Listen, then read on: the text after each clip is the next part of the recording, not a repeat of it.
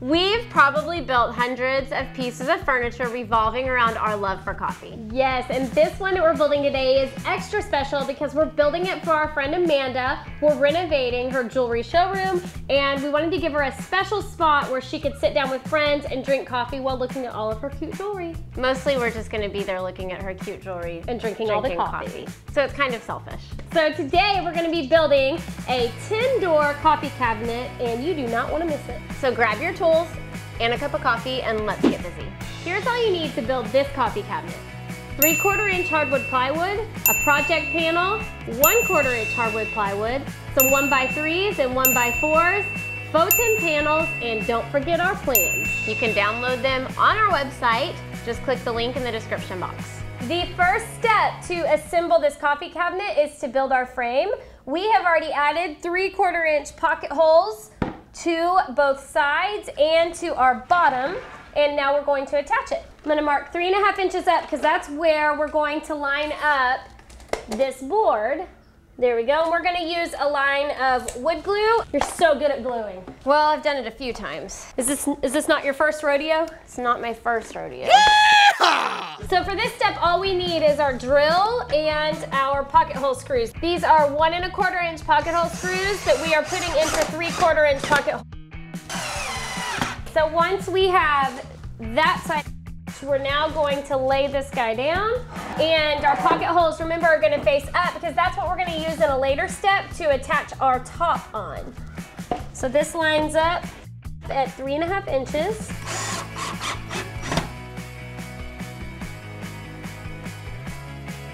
So we have part of our coffee cabinet built. So we'll push this guy off to the side and I'll get our one by four boards, maybe.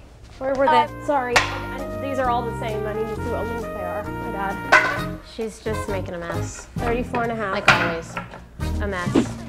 Now that the frame of the coffee cabinet's done, it's time to build the face frame to go on the front of it.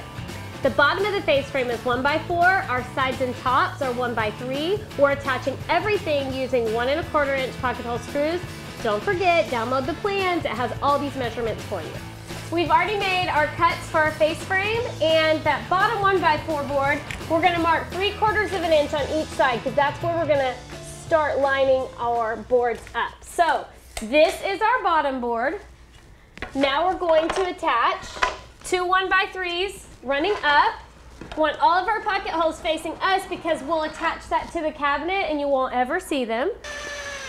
So one thing that's really awesome about this piece is that it's really big and it takes up a lot of space, but you really only use four tools. You're gonna use a Kreg jig, a drill, a miter saw, and a nailer. And those are like top, our top four tools that you use for most of our builds anyway. Mm -hmm. So you should probably already have them. All right, face frame done. Now to attach this, we're gonna use wood glue and brad nails. Actually, let's lay it down and get the rest of the side. And we'll also go ahead and get the bottom. Face frame's attached. Now we're gonna add our two smaller side trim pieces. Those are also one by four. Just use a line of wood glue and attach with your nailer. Okay, and see these pocket holes right here? This is why we put the pocket holes facing down. You'll never see them. All right.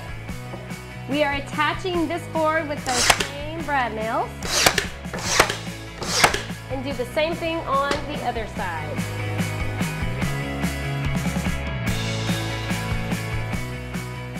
Next, we're going to be adding the divider that's gonna run in the middle. This board is ripped, not quite as wide, because we want it to be able to fit inside of this. And we're actually gonna be, before we attach it, adding a piece of one by three trim to the front of it using glue and nails. So Ash is gonna add the glue for us. Now all the way down center, we're adding one and a quarter inch brad nails. Okay, done. We're gonna do a line of wood glue up the center and then just a little bit right there where our one by three front trim piece is. And we are going to attach this board with one and a quarter inch pocket hole screws. So I'm gonna line this up. Once you have that part attached, you can then go nail the top of that to your front face frame. Make sure you use wood glue on that spot too. I always forget to say that.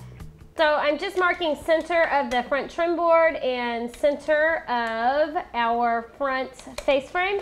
We're gonna add just a little bit of wood glue to the inside of that. There we go. And we're gonna attach that. Done. All right, next step is going to be to add our shelves. We're gonna do two shelves in this cabinet. Guys, y'all can put your shelves wherever you want to. I'm putting mine probably close to center. We're gonna put Amanda's coffee maker inside of this, so we just wanna be sure to give her enough room to fit that. We're gonna do ours 18 inches from the inside of this.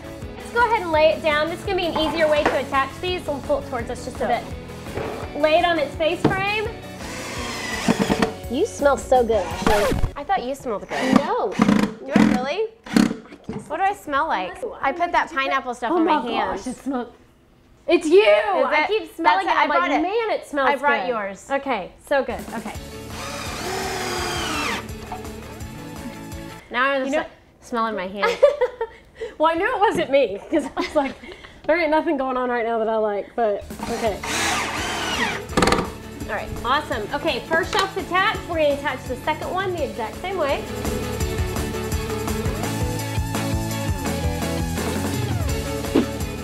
Now we're gonna do is turn this up on its top and we're gonna attach the top. Okay. I need a coffee break. We've got literally. so for the top, we're gonna be using a project panel. And we've used these on several projects we've done lately. And some people have asked me, where do I buy a project panel? They're gonna be at the hardware store. Both big hardware stores carry them. And they're typically on the same aisle as like your pine boards. To attach the top, we're setting the entire cabinet upside down and on top of the bottom of that project panel. We're attaching using one and a quarter inch pocket hole screws through those pocket holes on the cabinet and into that project panel. Final step is attaching the one quarter inch plywood on the back of the cabinet. We use two pieces because we had scraps. You can also use a solid piece. We like to attach that using our stapler. You can also use a nailer on this part. All right, we've finished stapling. Cabinet's done. Now it's time for the character of the piece, the doors. The real doors. So we're making these doors with one by three boards. Those are attached using one and a quarter inch pocket hole screws through the shorter boards and into the longer boards. This does not just have to be used for coffee. If you're not a coffee lover, you can stash other stuff inside of there. Like candy bars, Fancy bars, goldfish, wheat thin, cereal. a little wine. You could make it a wine cabinet. That's true. Door frames built. Check them for size. so we'll go ahead and move on to those panels. These are faux tin panels. These panels come black when you order them. We added a white spray paint to them, and then we're gonna distress it later on after we finish.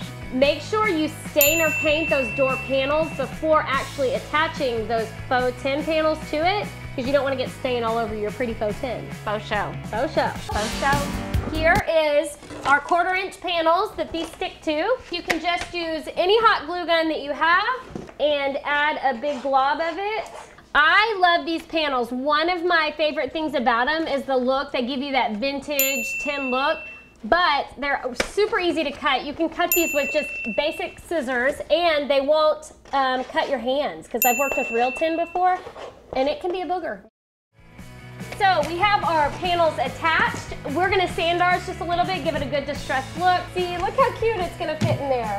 So the back, this is where you'll go and attach this door panel with nails and then add your cute hardware. We're using some really pretty black metal hardware for ours. We love the contrast of the whites with the blacks and everything else we have planned for this shop kind of revolves around that. We've built a ton of other pieces for Amanda's shop renovation, so make sure that you subscribe to our videos so that you don't miss any pieces.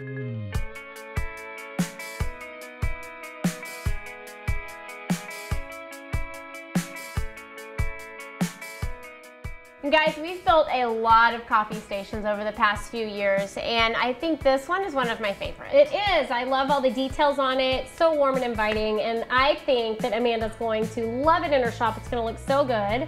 It also looked great in your home, too. That's right. Go build one.